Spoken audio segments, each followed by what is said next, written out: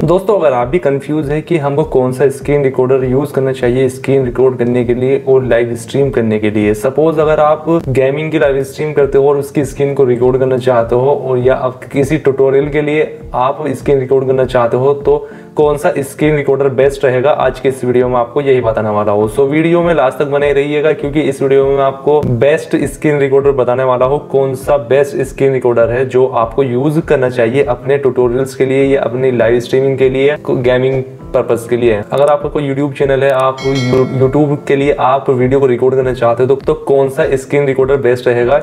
इस वीडियो में आपको ये बताने वाला हूँ। सो वीडियो कंप्लीट वॉच करें। तो सबसे पहले गाइज़ आपने प्ले स्टोर पर जाना है और प्ले स्टोर से आपने यहाँ पर एक्स रिकॉर्डर टाइप करना है। यहाँ पर एक्स रिकॉर्डर आप टाइप करेंगे तो यहाँ पर एक्स रिकॉर्डर आपके सामने यहाँ पर आ जाएगा स्क्रीन रिकॉर्डर यहाँ पर देख सकते हो, इसके टेन करोड़ से भी ज़्यादा डाउनलोड है।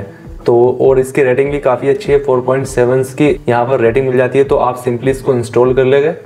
इंस्टॉल हो चुका है, इसको ओपन करेंगे।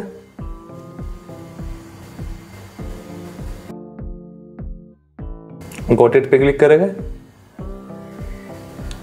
तो यहाँ पर आपने इनेबल फ्लोटिंग आइकन अगर आप फ्लोटिंग आइकन इस तरीके से अपनी स्क्रीन पर लाना चाहते हो कि मैं कोई भी ट्यूटोरियल बता रहा हूँ और यहाँ पर कोई पॉइंट्स को मैं हाईलाइट करना चाहता हूँ तो आप वहाँ पर पेंसिल की मदद से हाईलाइट उसको कर सकते हो।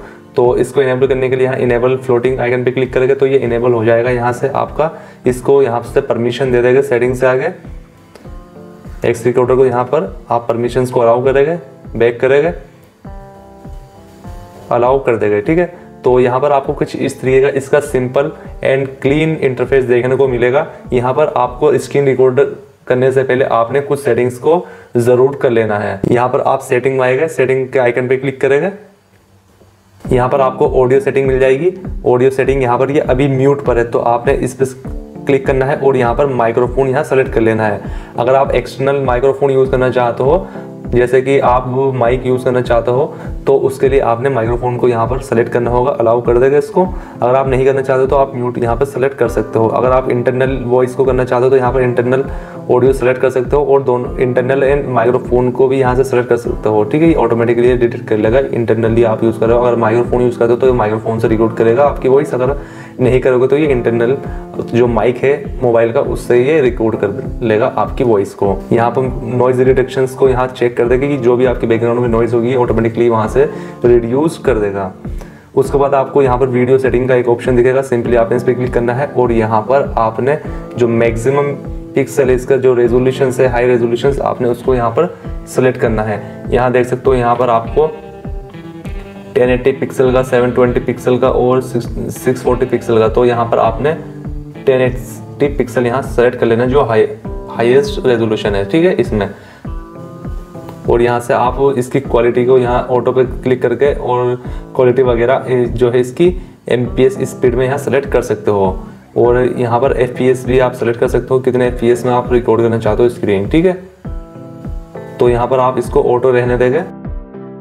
उसके बाद यहाँ पर लोकेशन का एक ऑप्शन मिलेगा कि आप अपनी रिकॉर्डिंग को कहाँ सेव करना चाहते हो। यहाँ पर ये बाई डिफ़ॉल्ट इंटरनल है। अगर आप एक्सटर्नल में एस कार्ड वगैरह में सेव करना चाहते हो तो आप यहाँ पर सेलेक्ट कर सकते हो एस कार्ड ठीक है? तो इंटरनल एस कार्ड तो अपने अकॉर्डिंग यहाँ सेलेक्ट कर सकते हो। किसमें आप सेव करना चाहते हो अपनी स्क्रीन रिकॉर्डिंग को। तो यहाँ से मैंने एस ये इंटरनल सेलेक्ट कर लिया है। तो यहाँ पर आपको एक ऑप्शन मिलेगा video segment size two G B यहाँ पर है। तो यहाँ पर टू जी की जैसा रिकॉर्डिंग होगी तो ये ऑटोमेटिकली जो वीडियो रिकॉर्डर है, ये स्टॉप हो जाएगा। तो यहाँ से आप इसकी सपोज़ अगर आप इसके साइज़ बढ़ाना चाहते हो तो यहाँ पर थ्री जी तक आप इसका कर सकते हो। थ्री जी तक आने के बाद ये आपकी जो रिकॉर्डिंग है, ये बंद कर देगा। तो ये लिमिट आप यहाँ से इसकी सेट कर सकते हो वीडियो रिकॉर्डिंग की। यहाँ पर आपको कुछ और सेटिंग मिल जाएगी नीचे कंट्रोल सेटिंग में। तो यहाँ पर आप रिकॉर्डिंग मोड को सिलेक्ट कर सकते हो यहाँ पर। परफॉर्मेंस मोड तो नॉर्मल मोड पर आपने इसको सिलेक्ट करना है। एंड यहाँ पर आपने, अगर आप काउंट डाउन को काउंट डाउन चाहते हो थ्री सेकंड का यहाँ काउंट डाउन आप यहाँ सेलेक्ट कर सकते हो, ठीक है? एंड यहाँ पर आप पॉपअप विंडोज़ को अपने स्क्रीनशॉट वगैरह के लिए, इसको अगर चाहते हो तो यहाँ पर आप इसको चेक कर सकते हो अदरवाइज़ इसको अनचेक कर सकते हो अगर नहीं चाहते हो तो। अगर आपकी स्क्रीन ऑफ़ हो जाए तो अगर आप चाहते हो कि मेरी स्क्रीन ऑफ़ होने के बाद भी रिकॉर्डिंग बंद ना हो तो आप इसको चेक कर सकते हो स्क्रीन रिकॉर्डिंग तो स्क्रीन ऑफ़ होने के बाद भी आप ये रिकॉर्डिंग करता रहेगा। तो आपने इसको कर, यहाँ से इसको चेक कर देना है। एंड गाइज़ यहाँ पर आपको नीचे टच टूल्स का ऑप्शन दिख जाएगा। टच टूल्स यहाँ पर आपने ये इसको यस कर देना है। यहाँ से ये हमको अपने डिवाइस से करना होता है डेवलपर में जाके जहाँ पर भी अगर आप ये सेटिंग कोई भी समझाते हो वहाँ पे ट्यूटोरियल्स में जहाँ पर भी आप क्लिक करोगे तो ये आपको वहाँ पर इम्प्रेशन दिखाएगा। टच होता हुआ। यहाँ पर आप फ्लोटिंग बॉल को कस्टमाइज कर सकते हो। यहाँ पर ये अपने अकॉर्डिंग यहाँ पर आप इसको कस्टमाइज कर सकते हो। तो ये बाई डिफ़ॉल्ट आपने रहने देना है। तो गाइज़ स्क्रीन रिकॉर्ड करने के लिए सिंपली आपने यहाँ पर रिकॉर्ड पे क्लिक करना है। एंड ओके पे क्लिक करेगा यहाँ पर। स्टार्ट नाउ पे क्लिक करेगा। तो यहाँ पर ये काउंट डाउन थ्री सेकेंड का चलेगा। तो यहाँ पर आपकी जो रिकॉर्डिंग है वो स्टार्ट हो गई है। तो मैं यहाँ पर अपनी स्क्रीन रिकॉर्डिंग आपको करके दिखाता हूँ।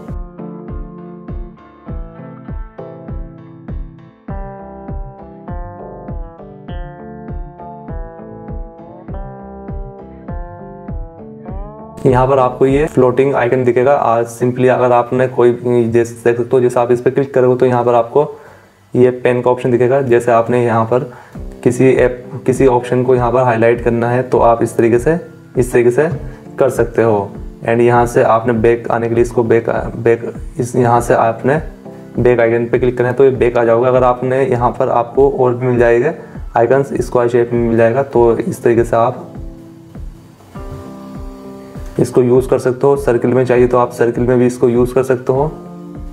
इस तरीके से आप हाईलाइट कर सकते हो। इससे ये होता है कि जब भी हम रिकॉर्डिंग करते हैं तो यहाँ पर जो हमारे व्यूवर्स होते हैं वो इजीली इसको रिलेट कर पाते हैं कि भाई कौन सा ऑप्शन ये बता रहा है। क्योंकि कभी ऐसा होता है कि छोटे छोटे ऑप्शंस होते हैं वहाँ पर एकदम से जो व्यूवर्स होते हैं उनका ध्यान नहीं जा पाता है। तो इस तरीके से हम वहाँ पर हाईलाइट कर सकते हैं जिससे कि उनको जल्दी समझ में आ, आ जाए। यहाँ पर स्क्रीन लेना चाहते हो तो आप रिकॉर्डिंग करते वक्त स्क्रीन भी ले सकते हो जस्ट आपने कैमरा वाला आइकन पर क्लिक करना है तो यहाँ का ये स्क्रीन ले लेगा। यहाँ से इससे बैक आएगा तो ये सारे जो ऑप्शन है इस तरीके से आप इससे बैक आ सकते हो। वीडियो को स्टॉप करने के लिए सिंपली आपने स्टॉप करेंगे। अगर आप फिर से कंटिन्यू करना चाहते हो वहीं से तो यहाँ से आप कंटिन्यू पे क्लिक करेंगे तो इस तरीके से आप वीडियो को कंटिन्यू कर पाएँगे स्टॉप करने के लिए यहाँ स्टॉप पे क्लिक करेंगे और यहाँ पर जब आप पूरी कंप्लीट रिकॉर्डिंग कर लेंगे तो यहाँ पर आपने सिंपली इस वाले आइकन पे क्लिक करना होगा। तो आपकी जो रिकॉर्डिंग है वो यहाँ पर सेव हो चुकी है। चलिए मैं यहाँ पर इसको आपको दिखाता हूँ कैसे यहाँ पर आपकी जो रिकॉर्डिंग है वो स्टार्ट हो गई है। तो मैं यहाँ पर अपनी स्क्रीन रिकॉर्डिंग आपको करके दिखाता हूँ।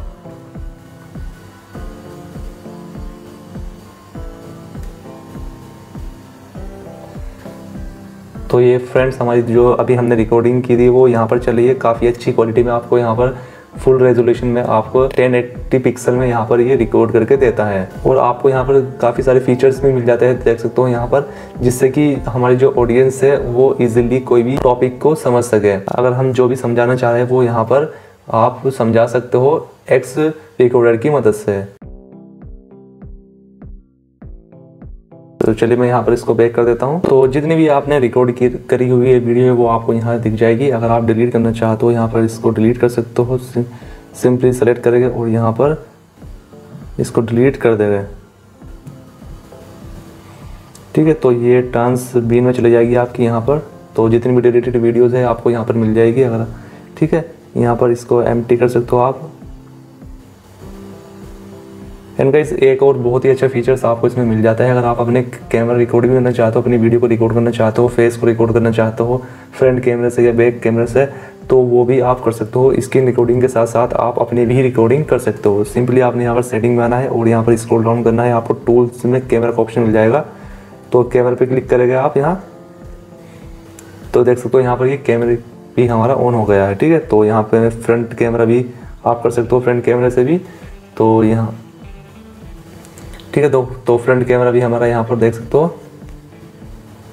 ऑन हो चुका है। तो आप रिकॉर्डिंग के साथ साथ और देन तो यहाँ पर देख सकते हो, मेरा कैमरा से भी ये यहाँ पर रिकॉर्ड हो रहा है और आप अपनी रिकॉर्डिंग यहाँ पर कर सकते हो।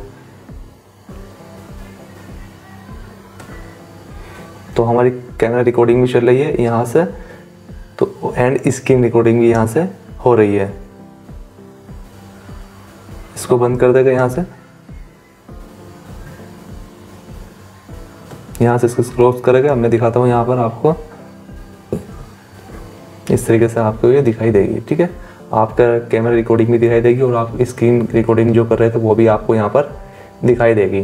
तो यह भी काफ़ी अच्छा फीचर आपको एक्स रिकॉर्डर में मिल जाता है। एंड गाइज़ यहाँ पर आप जैसे प्लस आइकन पे क्लिक करते हो तो यहाँ पर आपको लाइव स्ट्रीमिंग का ऑप्शन भी दिख जाएगा।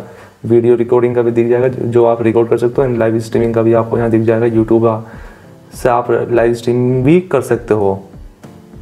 तो ये भी काफ़ी अच्छा फीचर आपको उसमें देखने को मिल जाएगा। तो गाइज़ ये था स्क्रीन रिकॉर्डर जिसका आप यूज़ कर सकते हो अपनी स्क्रीन को रिकॉर्ड करने के लिए और लाइव स्ट्रीमिंग करने के लिए। अगर आप स्क्रीन रिकॉर्ड करना चाहते हो एचडी में तो आप इसका यूज़ कर सकते हैं। उम्मीद करता हूँ आपको वीडियो पसंद आई वीडियो पसंद आई तो वीडियो को लाइक करें शेयर करें सब्सक्राइब करें हमारे यूट्यूब चैनल को।